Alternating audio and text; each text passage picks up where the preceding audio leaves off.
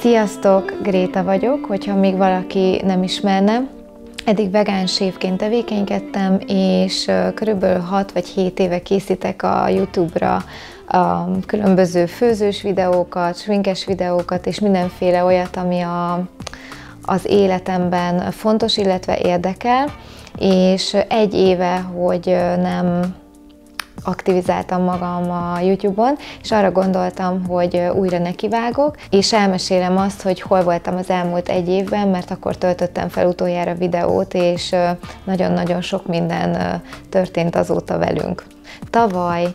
Szeptemberben elindult a műsorom, az egy magazin műsor volt a Live TV csatornán, ami egy életmód magazinként működött, és tíz adást forgattunk le, úgyhogy tavaly ősszel azért nem tudtam jelentkezni, mert a forgatások sűrűjében már nem volt időm ezekkel a filmekkel foglalkozni, és úgy gondoltam, hogy így is úgy is felkerül a YouTube csatornára, és azon elérhető. Egyébként én ide, erre a csatornára is körülbelül hetente vagy két hetente fel fogom tölteni ezeket a régebbi videóimat. Ugye ez egy olyan különleges műsor volt, ami még nem volt Magyarországon, ami arról szólt, hogy volt egy vendégem, akit én hívtam meg ebben a műsorban, beszélgettünk, illetve elkészítettük a kedvenc vegán ételét, vagy én készítettem el neki ajándékba, vagy ő,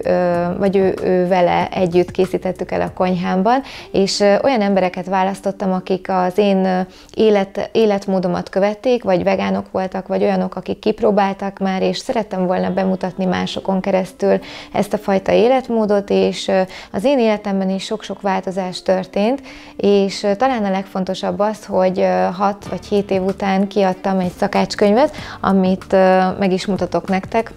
ez tavaly november 1-én jelent meg, tehát ez is még az őszi, az őszi programjaimhoz tartozott. Ez egy 80 receptet tartalmazó mm, gluténmentes szakácskönyv, Gréta kedvencei 5 év receptjei a nagyvilágból a címe, és így néz ki, egy nagyon-nagyon szép kiadvány, gyönyörű fotókkal, és nagyon sokat dolgoztunk ezen, hogy, hogy elkészüljön, hiszen én vagyok ennek a, illetve mi vagyunk a férjemmel ennek a könyvnek a kiadói. Úgyhogy ezt elérhetitek a webshopban, majd a linket megtaláljátok a kis boxban a videó alatt. Illetve túllépve egy kicsit és más irányba kalandozva, Íróként is debütáltam tavaly, ez pedig, november, ez pedig október 13-án jelent meg a Pillangó Mese című regényem um, amiről majd uh, nem sokára fogok egy kicsit bővebben beszélgetni, illetve arra gondoltunk, hogy a ti kérdéseitek alapján készítünk majd egy kérdezfeleleket a könyvről, hogy miért is lesz mondjuk egy szakácsból írónő, ezt uh, majd ki fogom nektek fejteni, de addig is uh, szeretném bemutatni ezt a hát majdnem 500 oldalas Pillangó Mese című könyvet, ami, ami tavaly jelent meg. Szóval két könyvem jelent meg, és egy műsorom indult el, és nagyon-nagyon sok munkát vett igénybe, és sok időmet lefoglalta ez, és ezért sem tudtam jelentkezni, utána pedig azt éreztem, hogy annyi, annyi energiát és annyi mindent beleadtam ebbe, hogy már nem volt mit adnom. Tehát, hogy amikor az ember így fogja és odaad mindent, akkor neki is kell töltekeznie, és, és a többi idő, tehát a, a következő fél év az körülbelül arról szólt, hogy kicsit átrendeződjön az életem úgy, hogy kényelmes is legyen, hogy Ugye ott van a bistrunk, a Great Bistro, amit továbbra is viszünk a férjemmel, tehát ott is jelen kellett lennem, illetve volt egy olyan uh, testi betegségem, amiből meg kellett gyógyulnom, és ez nagyon sok odafigyelést, illetve nagyon sok uh, önismeretet igényelt. És amikor az ember szeretné megismerni önmagát, akkor, uh, akkor nem tud annyira kifelé élni, hanem akkor, akkor szüksége van arra, hogy bent legyen, önmagában legyen, és kitalálja, hogy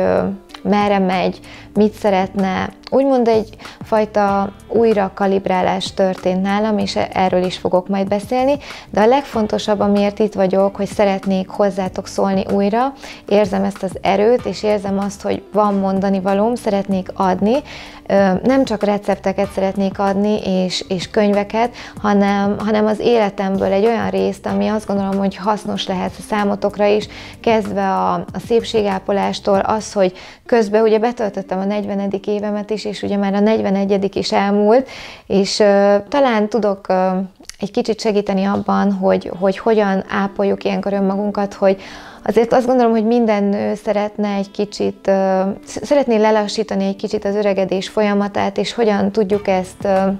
ezt a mindennapjainkban mondjuk megtenni, és olyan dolgokkal szeretnék foglalkozni, ami igazából látom, hogy titeket érdekel, vagy Instagramon felteszitek nekem ezeket a kérdéseket. Az Instagram oldalam a Kukac Greta Stör, tehát ott is tudtok követni, ott is megtaláljátok naponta, vagy két naponta posztolok oda is. Úgyhogy remélem, hogy velem tartatok, velünk tartatok a jövőben, hiszen szeretném Ákost is bevonni ebbe, már amennyire őt be lehet, mert annyira nem szeret szerepelni, de, de szeretnénk nektek adni, és nem feltétlenül és kizárólag csak receptúrát. Eddig sem tettem igazából ezt, hanem szeretném önmagamból azt, amit éppen tudok, és, és szeretnék átadni, öm, odaadni egy beszélgetést, egy, egy kölcsönös, kölcsönös kommunikációt veletek. Tehát ez lenne a cél a jövőben, és, és folytatódik a Great Life, a televízióban nem tudtam folytatni, mert hát ezt majd lehet, hogy egyszer elmesélem. Azt gondoltuk Ákos, hogy igazából a saját csatornámon hol is tudnék hozzátok közvetlenebből szólni, hogy is tudnánk összekapcsolódni a legjobban, és átérezni, és megmutatni azt, hogy ki is vagyok, és milyen tevékenységeim vannak, mit is csinálok, mint, mint itt. És továbbra is erre fogom használni ezt a csatornát, úgyhogy Kérlek, tartsatok velem, és jön a könyvemmel kapcsolatos kérdésfelelet.